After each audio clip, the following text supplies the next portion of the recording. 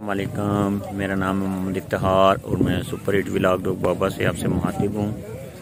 آج ہمارے گاؤں میں ختم پاک کی محفل ہو رہی ہے، تو تقریباً سارا گاؤں یہاں پہ اکٹھا ہے۔ تو میں نے سوچا آپ سے بھی شیئر کر دوں، یہ دیکھیں سارے میرے عقب میں، یہ دیکھیں آپ کو سب سارے بیٹھے ہوئے ہیں۔ ابھی مائک سے لگ رہے ہیں ساؤنڈ سسٹم آن ہو رہا ہے، تھوڑی دیر میں محفل کا آغاز ہو جائے گا۔ گزارش ہے کہ میرے چینل کو سبسکرائب کریں، لائک کریں، شیئر کریں اور بیل آئیکن کو لازمی پریس کریں تاکہ میری نئی آنے والی ویڈیو کا نوٹیفیکیشن آپ تک پہنچ سکے۔ شکریہ۔ ابھی جو ہی محفل کا آغاز ہوتا ہے تو میں آپ سے شیئر کرتا ہوں دوسرے کیمرے سے ساؤنڈ سسٹم آن ہونے لگا ہے۔ فراؤنڈ ساؤنڈ سسٹم جی۔ آن کرو۔ آن کرو جی۔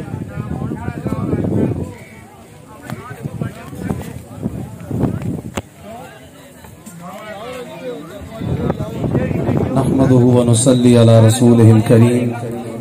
أما بعد، فأعوذ بالله من الشيطان الرجيم. بسم الله الرحمن الرحيم. إن الذين آمنوا وعملوا الصالحات سيجعل لهم الرحمن ودا. آمنت بالله، صدق الله مولانا العظيم. إن الله وملائكته يصلون على النبي. يا أيها الذين آمنوا صلوا عليه وسلموا تسليما اللهم صل على سيدنا ومولانا محمد وعلى آله وأصحابه سيدنا ومولانا محمد وبارك وسلم وصل عليه. تمام باب محبت سے درود پاک، الصلاة والسلام علیک یا سیدی یا رسول اللہ وعلى آلك واصحابك یا سیدی یا حبیب اللہ.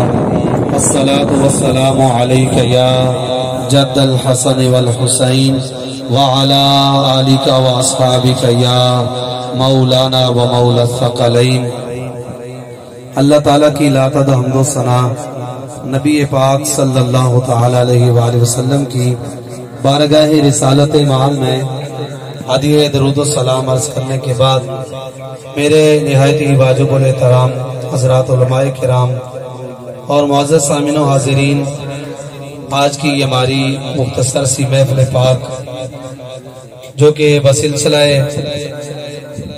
اسال ثواب بھی ہے اور اس سے پاک کے حوالہ سے بھی ہے۔ تو جتنے بھی اب آپ یہ کھڑے ہیں، تو سب سے گزارش ہے آپ یہاں نیچے آ کے بیٹھ جائیں، تاکہ تھوڑی دیر جو اللہ رسول کا ذکر خیر ہوگا، آپ اس میں شامل ہو جائیں۔ اور اصل جو مقصد ہے اولیاء کرام کی زندگی کا اور آپ کی سیرت کا وہ یہی ہے کہ ہم اللہ رسول کی عبادت کرنے والے ہو جائیں۔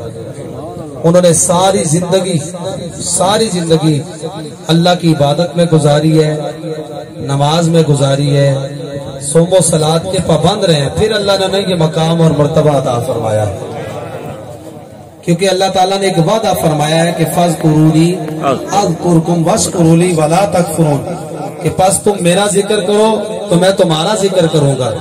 تو اب آبدی وقار، اب اللہ تو ذکر سے پاک ہے، وہ اپنے بندوں کا ذکر کرے۔ لیکن جو بندہ اس کی یاد میں زندگی بسر کرتا ہے، پھر ساری زندگی اللہ اس بندے کے چرچے کرا دیتا ہے۔ تو اس لیے ہم حضور داتا علی جویری کو مانے والے ہیں۔ تو حضور داتا صاحب نے کہا، میں نے چالیس سال سفر کیا دین کے لیے۔ کتنے سال؟ چالیس سال امن اسلاف کے ماننے والے ہیں۔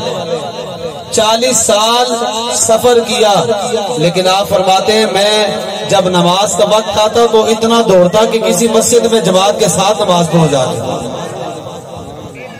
جس کے سفر میں جماعت نہ رہی ہو۔ تو ہم ان اسلاف کے ماننے والے ہیں۔ باقی یہ جو باقی معاملات ہیں، ہم اس کے ذمہ دار نہیں ہیں۔ ہم الحمدللہ اپنے اسلاف کی تبلیغ لوگوں تک پہنچاتے ہیں۔ ہم اپنے اسلاف کا طریقہ لوگوں کو بتاتے ہیں اور ہم اس میرے علی کے ماننے والے ہیں کہ جن کی عشاء کی غیر موقع سنتے بھی رہ جائے تو مصطفیٰ آ جاتے ہیں، فرماتے ہیں، میرے علی، جو میری اولاد سے ہو، وہ سنتے چھوڑا نہیں کرتا، وہ سنتے ادا کیا کرتا ہے۔ تو الحمدللہ، اللہ نے ہمیں اس لوگوں کے مشن کا وارث بنایا ہے۔ تو اس لیے یہ یہاں پہ آنے کا مقصد، یہ معاملات اپنی جگہ دعائیہ تقریب ہے، جو کھانا تیار کیا جاتا ہے، دعا کی جاتی ہے اور یہ سارا کچھ اللہ کے لیے کس کے لیے؟ اللہ کے لیے۔ کیونکہ ابھی اتنا وقت نہیں ہے، یہ ساری ڈیٹیل سے باتیں بتائی جائیں، تو اس لیے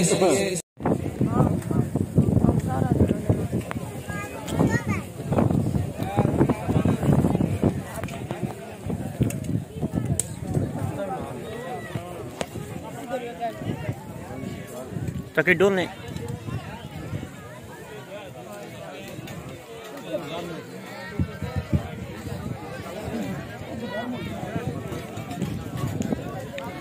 بسم اللہ الرحمن الرحیم۔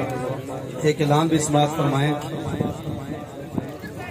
یہ بڑی بات ہوتی ہے۔